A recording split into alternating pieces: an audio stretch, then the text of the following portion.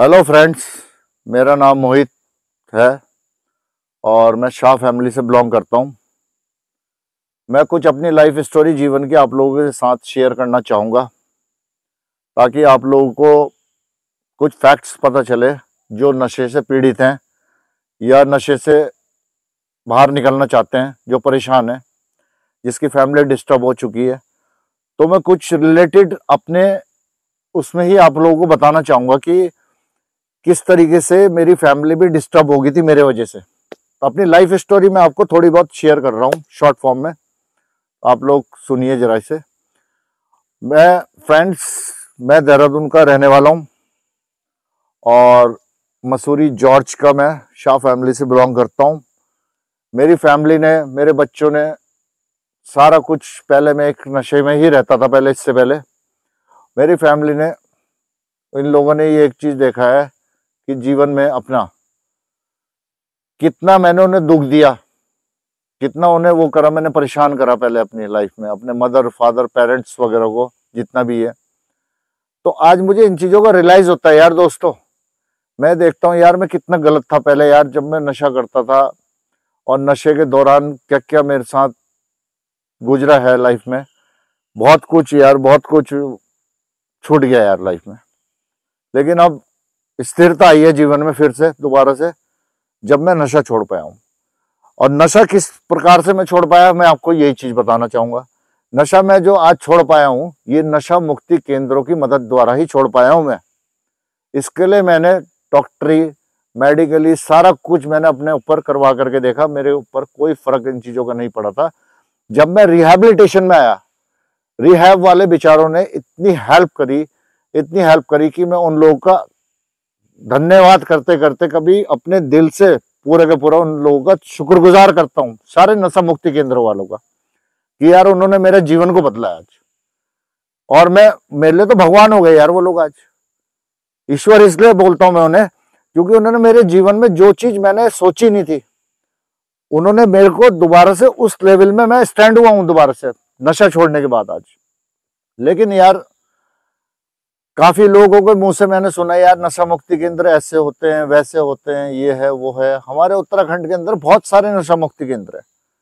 लेकिन नशा मुक्ति केंद्र सारे लोग अच्छे चला रहे हैं, कोई दिक्कत, परेशानी नहीं है। शासन, प्रशासन वगैरह को इनमें जो इन्वॉल्वमेंट ले रहे ये लोग, मेरा मेन मैसेज ये है कि इन लोगों को बोलना चाहिए कि इनको ज़्यादा इन्वॉल्वमेंट इसमें नहीं देना चाहिए। क्योंकि उनको पता तो है नहीं कुछ।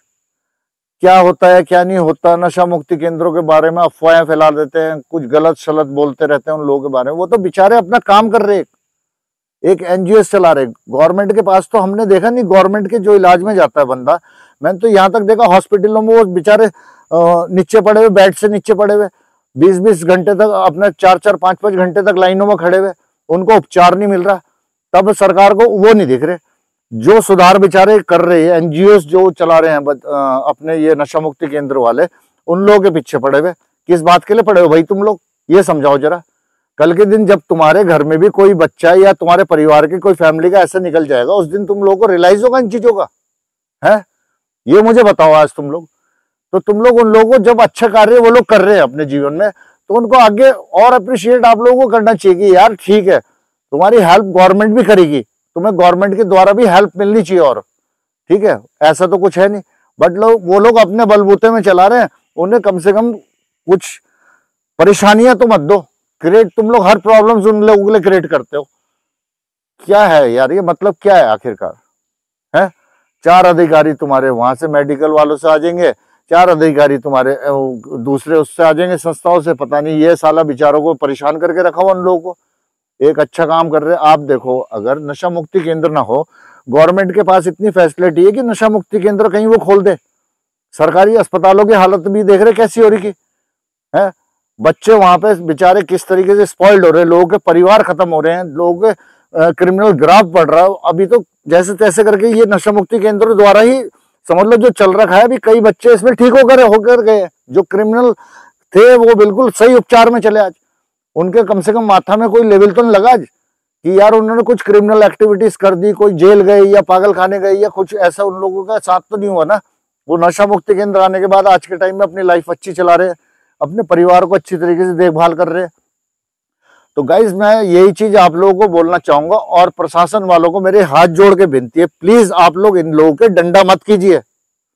जहाँ तक मैं आपके लोगों के आगे हाथ जोड़ता हूँ ये, कि अगर आप लोग इनके ज़्यादा डंडा करोगे तो अच्छी बात नहीं होगी एक दिन ऐसा होगा मिल करके पूरे के पूरे सरकार में जितने भी हमारे उत्तराखंड के लोग हैं, सारे के सारे घर, एक एक घर से बच्चा बच्चा, एक एक परिवार का बुढ़ा बुज़ुर्ग सारे के सारे निकल करके आएँगे और आपके आगे धरना देंगे। अब बताओ हम कहाँ लेकर के जाए अपने बच्चों को? फिर आप क्या करोगे बताओ मुझे? है? तो आप लोग उन लोगों को कॉपरेट करो ना यार। क्या साल है? बेकार में अनाप शनाप काम कार्य करा करके ये नॉर्म्स ये कंडीशंस वो अलाना फलान ढिमकाना, वो जो बेचारे आराम से काम कर रहे उनको काम भी नहीं करने दे रहे यार तुम। फिर तुम बोलते बेरोजगारी ही बढ़ रही है यहाँ पे। अरे, जब बच्चे साले नशा करेंगे तो बेरोजगारी नहीं बढ़ेगी तो क्या होगा? क्राइम भी बढ़ रहा है बेरोजगारी बढ़ रही। बताओ इकोनॉमी कहाँ से काम आ रही है? इसकी जारी है, उत्तराखंड की, है? सारी सारी जमीनें लोगों की बिक्री यहाँ पे। जिनके, जिन्होंने अपनी जमीनें, भूमि वगैरह बेच दी यहाँ पे उन लोगों के बेचारे परिवार के जो है, कुछ के पैसे खत्म हो गए, कुछ के अभी वैसे चल रहा, कुछ के बच्चे नशीड़ी निकल गए, वो जैसे से परेशान हो रहे अभी। तो कहीं ना कहीं तो इलाज के लिए जाएँगे भैया वो। या तुम बता दो मुझे, कोई डॉक्टर का नाम ऐसा बता दो कि वो जो डॉक्टर आप लोगों को एल्कोहलिक आदमी को जो है ठीक कर सके। या कोई दवाई ऐसा नाम में बता दो आप लोग अगर हो, इतने इंटेलिजेंट बंदे। तो ये बताइए कि इसके लिए कोई दवाई बनी तो मुझे बता दीजिए। मैं उसको एक लाख रुपए इनाम के दूँगा, अपनी तरफ़ से, उस अधिकारी को। ठीक है जी? और सच बोल रहा हूँ ये, मेरा नंबर नीचे डिस्क्रिप्शन में मैं अपना नंबर भी दूँगा। मुझे कांटेक्ट आप कर लेना, मैं जॉर्ज में रहता हूँ मसूरी जॉर्ज एवरेस्ट में। ठीक है ना? You can contact me and call me any time I am always available तो आप देखो ये चीज़ें, और मैं खाली यही आप लोगों को मैसेज दूँगा कि आप लोग इन लोगों के पीछे ज़्यादा मत, पीछे पड़ो।